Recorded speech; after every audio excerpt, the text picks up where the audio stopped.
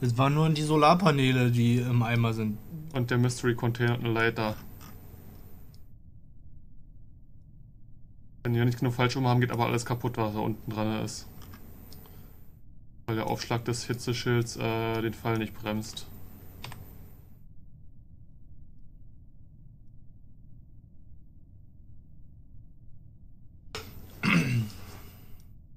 Mann, Mann, Mann. Aber Mann. deswegen haben wir alle Science rausgenommen. Es ist nur ein bisschen Geldverlust, den wir haben, schlimmstenfalls. Du machst es aber spannend.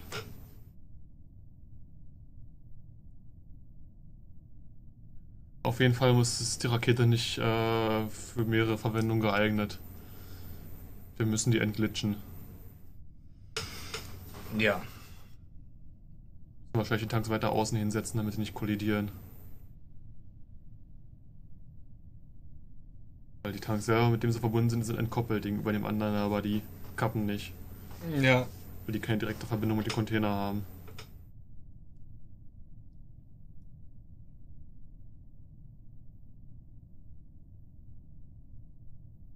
Da fehlt ein Fallschirm. Ach nee, da sind nur keine Strippen da. Ja, das ist der neue strippenlose äh, Ultraschirm. Ah. Das ist eine ganz dünne Strippe. Ich habe das Gefühl, dass es nicht so viel halten würde wie die anderen.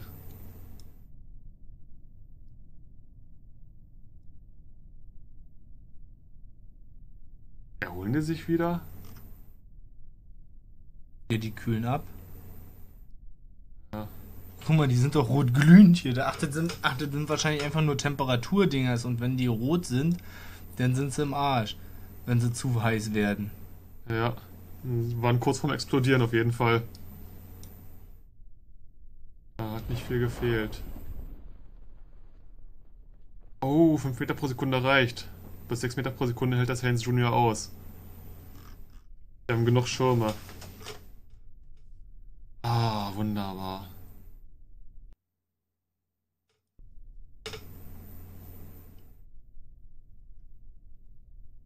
Ne, die Cargo Bay. Aber eigentlich hält auch alles 5 Meter pro Sekunde aus. Ja, 5 Meter ist alles.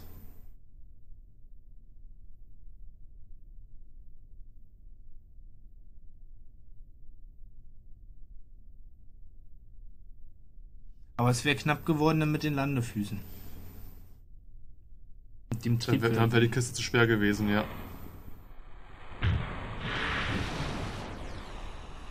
Alter Falter, wir haben Science nach Hause gebracht. Ja, Wahnsinn, ne? Die erste Außenmission äh, von einem Mond, die wirklich. Erstmal, wir wirklich aus dem Mond zurückgebracht haben und nicht nur die Reports gefunkt haben. Wahnsinn. Jetzt muss ein Arsch voll Science geben. 518. 462 haben wir eingesammelt. Wow.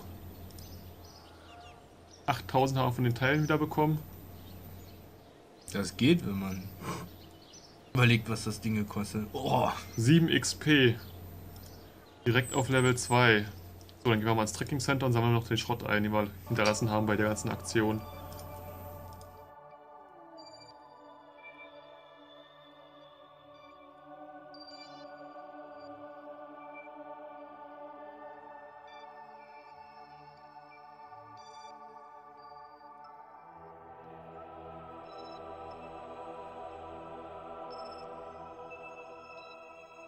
Gelandet auf dem Launchpad. Vor 18 Tagen. Und die ganzen Stages, die wir abgeworfen haben, die einen Fallschirm haben. ja. Oh, jetzt haben wir viel zu erforschen. Jetzt können wir ein bisschen was. Jetzt kommt.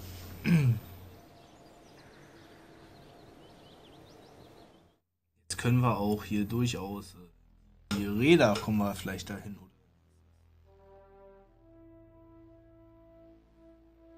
160 plus 300 sind 460. Da würden wir hinkommen. Die Frage ist, schaffen wir auch, das äh, Forschungslabor zu machen, um Sachen zu verarbeiten? Nee, ich würde sagen, wir gehen Das über. die größeren Wir gehen, über wir gehen übers Forschungslabor dahin, haben wir doch geguckt. Zu den äh, Rädern. Ja, mal. Das waren noch die hier. Das sind Die doch müssen wir, da müssen wir hin, die 500. Genau, und übers Forschungslabor. Ja, das Processing, da brauchen wir auf jeden Fall die Leitern. Brauchen wir aber mehr Treibstoff um den Hoch zu brauchen. Wir brauchen jetzt die großen äh, Jetzt müssen wir mal- Max-Dinger. Brauchen wir die Rockomax-Tanks und. Hinten die großen Tanks. Ja. Hier. Brauchen wir auf jeden Fall und wir brauchen die dicken Dinger. Pool und die Skipper. Die Skipper Vectoring? Ja, 2 Grad Vectoring. Eignet sich also als Haupttriebwerk. Hier ist noch ein Mainsail, die ist ein bisschen größer, aber die hat, ah, die hat auch mehr. Die Die können wir auch. 1400 in Atmosphäre, 1500 im Vakuum. Die haben wir aber Der nicht. Defense-Schub 500 noch was. Können wir aber noch nicht. Fehlen noch ein paar Science. Ja. Jetzt könnte man theoretisch ein Space Lab starten. Was ist da? Okay. Nuklearantrieb. Cool. Das hat auf jeden Fall was für Satellitennavigation. Ja, der ist aber wirkungslos in der Atmosphäre, hat er kaum Schub. Der ist fast nur für Vakuum geeignet. Aber von den anderen hier was noch mitnehmen was. Da haben wir ja nicht. Da können wir noch was. Jetzt eigentlich nichts. RCS-Düsen, die kleine, kleine Landekapsel vielleicht, die leichte. Also RCS-Düsen, denke ich, könnten schon ein bisschen was bringen, wenn wir. Und das äh, Gyroskop, Das würde ich sagen, sollten wir noch nehmen. das fette. RCS-Düsen brauchen wir zum Docken. Ja, rein damit. Wir hätten die Solarpaneele nehmen sollen. Die können wir nicht, weil die 160 Cents kosten. Ja, trotzdem, die brauchen wir. Aber jetzt können wir ein Labor machen und mal über den Boden rutschen hier und dann ein paar Daten einsammeln. Ja. Das Labor damit füttern. Das heißt, wir machen ein Laborauto. Richtig, ein Laborauto. Das kommt mir bekannt vor. Das haben wir schon mal gemacht. Zum Glück haben wir jetzt mehr als einen Wissenschaftler, aber dafür Labor mindestens zwei Wissenschaftler brauchst du dem Gefährt. Richtig. Das habe ich mir auch Und so dann gerade ist gedacht. zurück und bringt einen Science-Bonus sogar.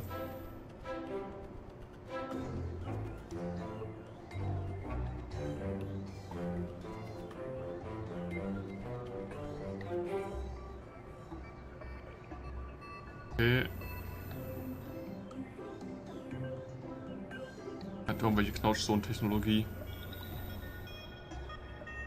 Junkyard and Spacecraft Parts. Crashtoleranz 8 Meter pro Sekunde. Und Kapsel ist besser als 14 Meter pro Sekunde. 40 Meter pro Sekunde für die Flugzeugkabine. Ja, Die hat 45 Meter pro Sekunde. Jetzt weißt du auch, warum die unmögliche Rakete gelandet ist, erfolgreich. bei 45. Das ist eine der zuverlässigsten Kapseln, was Aufschlag auf dem Boden angeht. Spannend.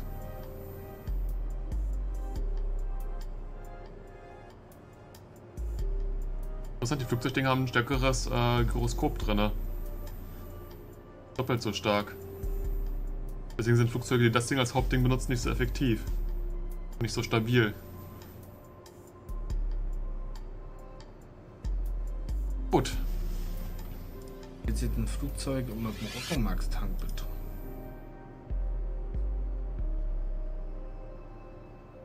Und ach, das Ding als Sonnenkopf. Genau, da ist oben. Dann brauchen wir Green.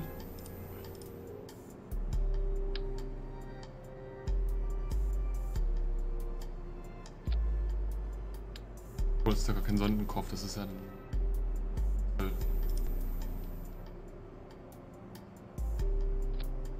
Oh, den Okto.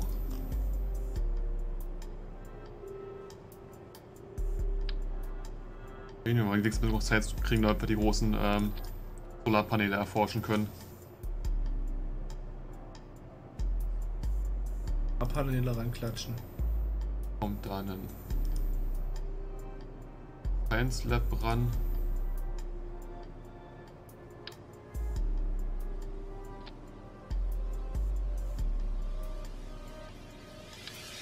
Dann mit einem Junior, Dann machst du den Science Junior davor, wa? Oder so.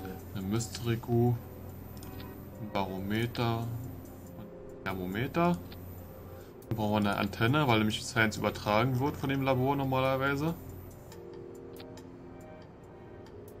Und wir können dann auch Bodenproben nehmen auf unserem Gelände. Ja, die fehlen uns nämlich auch. So, hier haben wir dann irgendwo Leitern gekriegt.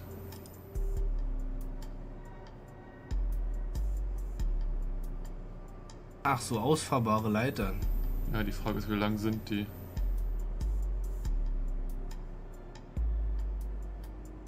Empfohlene Belastung 0,5 Kerbals. Okay.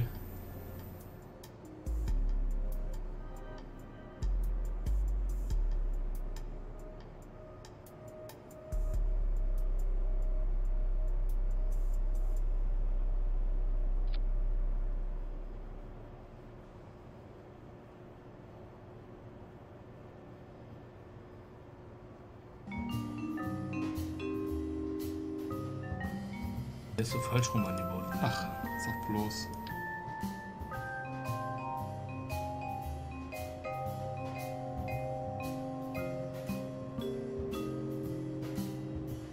Er muss nach unten zeigen.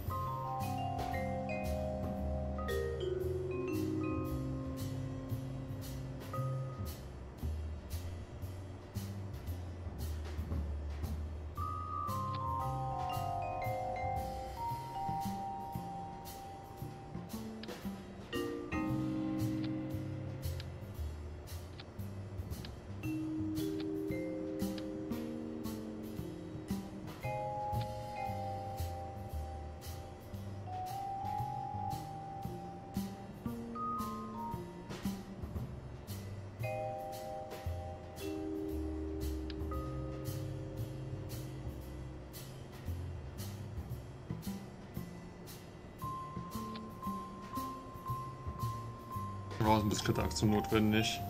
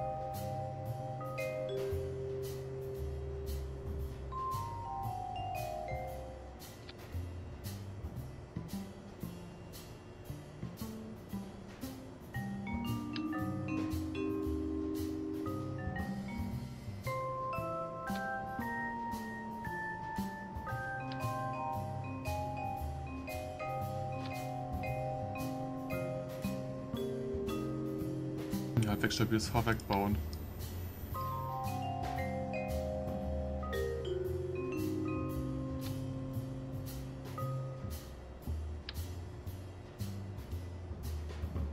Außer jetzt wird das Ding umkehren.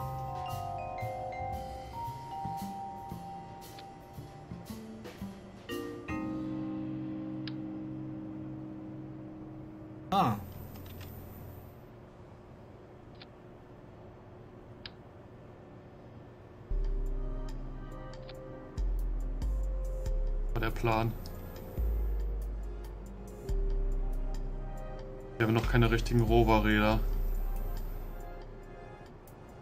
Also das ist das Beste, was wir machen können. Mal die steuerbaren Räder, damit die sich schön drehen können.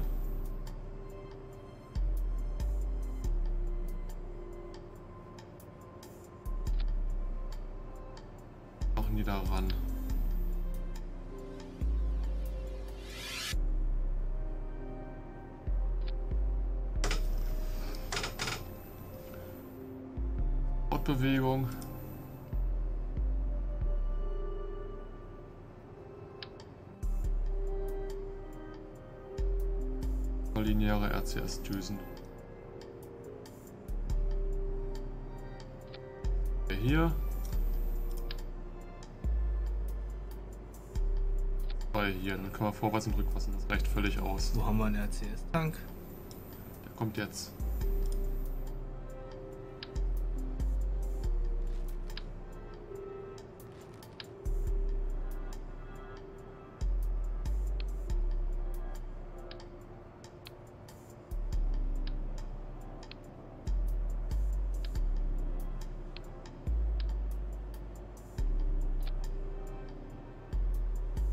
RCS-Tanks von der Rocco-Max-Größe?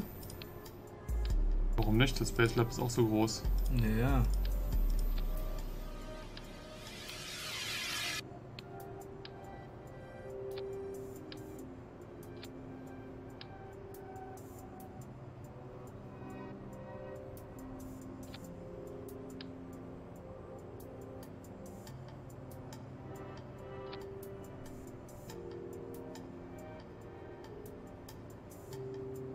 Soll noch groß schief gehen.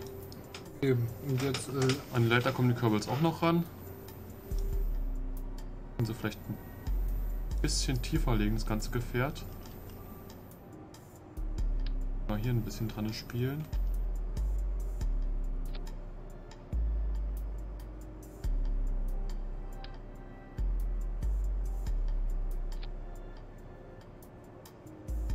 Auf jeden Fall ran.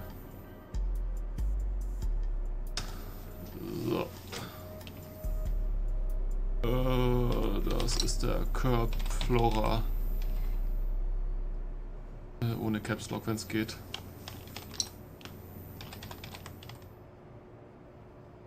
Komischer Name, aber. Welchen?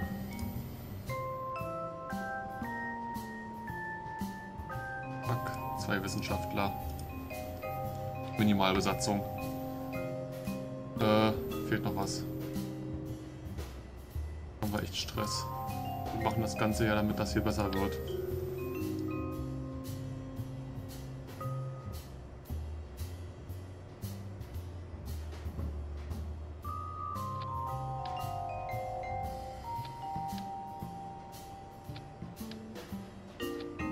dürfen nicht so viele Teile nehmen.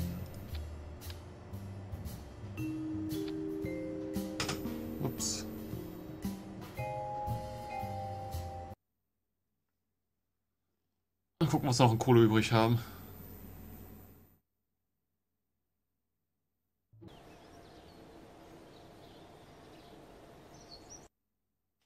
Äh, falsche Taste.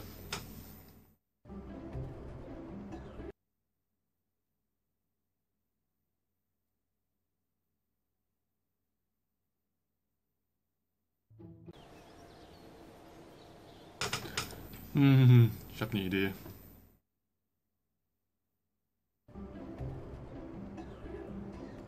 Startest das einfach dem. Genau, auf der Startbahn statt hier.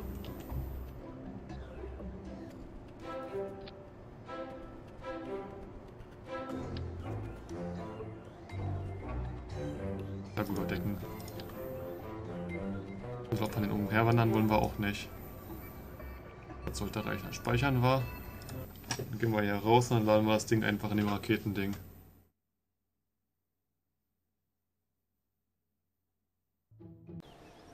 Dann ist hübsch. Da können wir es nämlich starten.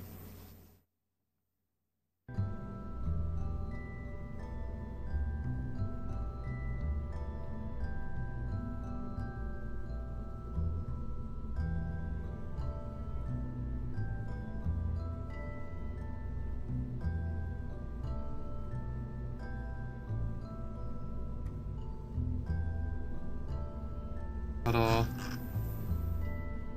Besatzung prüfen. Scientist. Scientist. Ab damit. Tada. Mit Flugzeugen sollte man das nicht machen, die darüber zu fahren auf die Startbahn ist ein bisschen tricky.